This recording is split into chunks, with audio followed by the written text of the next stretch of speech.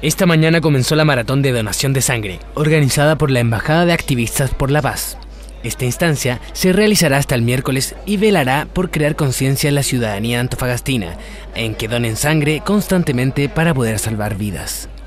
Esta es la séptima oportunidad en que se realiza esta actividad, con el eslogan Donar sangre es donar vida. Y claro, tienen mucha razón si por cada donador pueden por lo menos ocupar su sangre para tres personas distintas. Este, este proyecto o campaña de la Embajada Mundial de Activistas por la Paz lo que buscan es crear eh, conciencia en las personas de la importancia de la donación de sangre. Eh, se busca crear la cultura de un donante habitual y voluntario de sangre segura.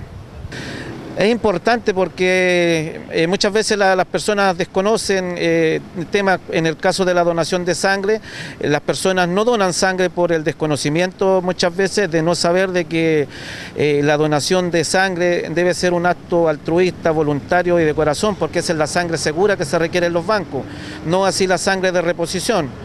Pero eh, más allá de todo eso, lo que deberán saber las personas es que donar sangre es un acto de amor, de, generosidad.